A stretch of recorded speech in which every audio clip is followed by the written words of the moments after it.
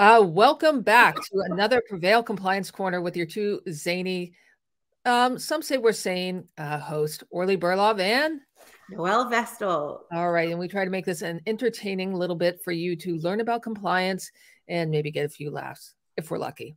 Um, and so today we're talking about something super funny. We're talking about VDI. Um, yeah, VDI. Now, why mm-hmm. is VDI a funny topic? Um, I'm not sure, but what? Uh, yeah, virtual desktop interface. Did I get that right? Yeah, infrastructure, but yes, Infra- first virtual desktop infrastructure. infrastructure. All right. So the reason why this is slightly funny will be apparent to you in just a moment. But to kick it off, you know, Noel, you were telling me people in a lot of your compliance calls say, "Hey, uh, I have to use a, virtual desktop um, infrastructure, and you know, someone told me I have to use that as part of my CMMC compliance." And so that made us think of, well, let's just get started with that slide. I thought this was funny. Uh, you told me some people say that they have to have a virtual desktop uh, infrastructure, and you say, "What? Who told you that?" Um, and we thought, well, maybe it was Satan. some sort of satanic vibe here. So church lady comes and says, "Told you you had to have a VDI. Was it Satan?" No. Taking it way back, really. I like it. I'm taking it way back. But you know, I, I presented that to some of the other people on our team and they thought it was funny too. So it is, it's great. All right. I laughed when you sent it to me. So yeah, okay. Right. All right. So what is a virtual desktop infrastructure? Um, why don't we kick it off with just like a basic understanding of what VDI is, the types? Sure, absolutely.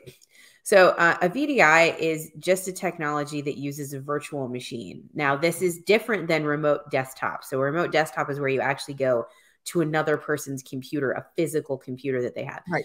Uh, virtual desktop infrastructure is actually, excuse me, a server.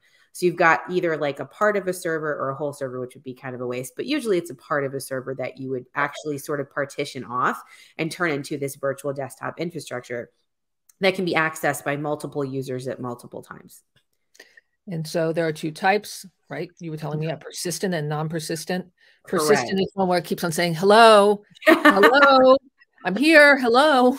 No, sorry. Uh, no, that would be that would be very annoying, but also interesting. But no, a persistent VDI is is usually the one that people um, I think associate the most with VDIs. So that's the one where you you log into the VDI. It's an in, and it sort of acts like your own personal machine. So like you have your little login, you come in, it brings up your email, it brings up you know your information, all of your applications that you have on your desktop. It basically looks like your laptop does. You know, however you left it, that's how it's going to always look. So All it right. remembers whatever personalized options you made on that desktop platform. And then when you come back in, it's still there.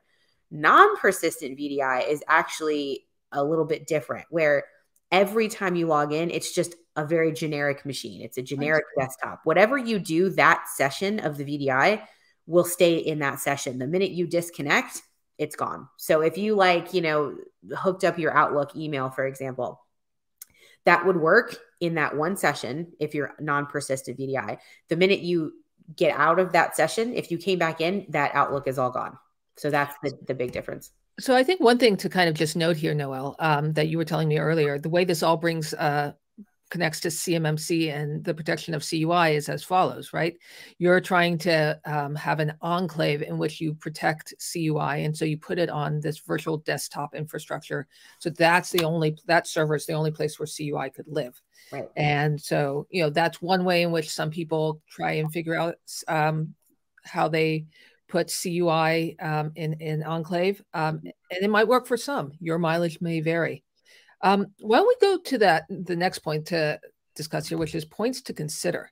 Um, And so, why don't you say why it's not the right solution for every company? What What do you have to tell us there? Well, you alluded to a lot of it just now, saying you know it's your mileage may vary. So one of the things to consider, and you notice the first one is in bold, it is not the right solution for every company. You do not have to have a VDI at all. You do not have right. to have a VDI to be compliant.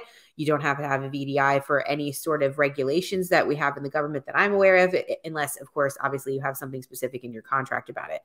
But otherwise, compliance talk uh, speak, like we don't need to have a VDI unless it's something that you think is the right move for you.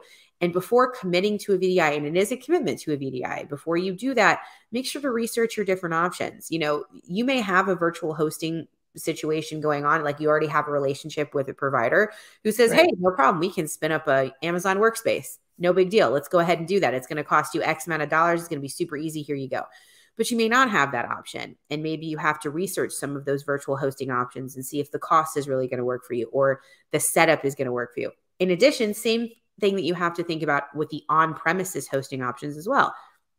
Is it going to, how much is it going to cost? Do you have somebody who can actually, you know, maintain it and keep up with it? Is it something that you really want to be responsible for? I mean, these are the different things you have to sort of evaluate and also how do VDI work within your company? You know, your business, your current process and procedures. Is a VDI really going to work with that? Are you going to have to change your processes and right. procedures? Are you okay with changing those? And then lastly, what resources are available to do the implementation, either virtual or on premises? You're going to have an implementation lift. You just are. Who's going to be responsible for that? Do your resources have the bandwidth for that? You know, these are the kind of things you want to start thinking about and once you go through these things and, and you know, obviously cost and, and timelines and different things that you have, then you really can make an educated decision about whether or not a VDI is right for your company. Right. Um, and just to to clarify, right, is um, someone who's handling CUI in a VDI, are they, is this an either or? Are they having it on a VDI or they're having it some sort of solution uh, to manage it um, kind of on their on their desktop in in the cloud it's uh how's that all work i would say that it's not necessarily an either or. You can actually have a cloud solution and also a vdi you can have a cloud solution and not a vdi so it's kind of an and or and you know if you wanted to do it that way. And i think we're going to get into that a little bit in a second actually. So that's a perfect segue to right. so what, what are some of the benefits? It's a vdi right. Orly, you're right on top of it this morning i'm telling you. I, so, I had my Cheerios. so VDI is not the right solution for every company. We already talked about that. But some, for some companies, there's a lot of really great benefits. Uh, one of the big ones is remote access. So if you have a remote team or even a team that's a hybrid team or or even a bunch of different headquarters locations across the country or across the world who all need to access the same information simultaneously, this is an actually really wonderful solution for that using a VDI means that everybody just logs into the same machine. So it's one machine that has all the same information. They can get everything that they need. They can access CUI if that's the enclave you've created, and then they, you know, they log out of it and it's gone. So that's a really wonderful point to it. It makes centralized management, which results in cost savings. It really does. Right. Again, for for a lot of companies, not all companies you have that one server that you have to worry about. That's one server you have to patch. That's one server you have to update. That's one server that you have to basically deal with instead of multiple different servers, perhaps, or multiple different endpoints, whatever those may be. So that obviously is going to be a cost savings for you. And then there's security. Because, like I said, when someone goes into this VDI, the minute they cut that session, that's gone. There's nothing right. on their endpoint. There's nothing um, in their computer. There's nothing in their in any of their memory. It's just gone. So, so that is the surface area for a cyber attack. Exactly, it really does. So it it can definitely make you more secure. Um, again, though, that is with the understanding that you are keeping everything up to date on that server, making sure that all of those security updates are being done. So that is something to always consider. Mm, downsides? I'm so glad you asked. So, what are the possible downsides? what are the possible downsides? What if storage runs out? So, that is a big one. If storage runs out, you can't access your desktop. So, if you don't have enough storage, or let's say you're having a virtual hosting option and you only got X amount of storage, the minute you go over that X amount, you can't get into that desktop interface and infrastructure anymore. Like it's it's done. So that obviously can cause work stoppage and all kinds of different issues. Now, how realistic you, is that? I'm sorry. How realistic is that idea of uh, maximum? Uh, really depends. I mean, it depends on what amount of information you're going to be processing on the, on this VDI. Um, how many people are going to be accessing it? What what stuff they're going to be doing? I mean, it's it's not super likely for most VDI situations, but it is definitely a possibility for some. Right. So I would be I'd be remiss if I didn't mention it. These two other ones, though, are much more common. So, poor network connectivity can create a very difficult user experience. And when I say difficult, I mean extremely difficult. Sounds like, like speaking from experience. I absolutely am. Um, I have used VDIs in the past and had poor connectivity, and it is it is very frustrating to use those. So make sure that if you are going to have a lot of people, you know, accessing this remotely, that they do have access to really solid internet because if you don't have that solid internet bandwidth it's it's going to definitely be a frustrating experience. And then to piggyback on that if you have no network connectivity meaning there's no internet connection then you can't get to your virtual desktop at all.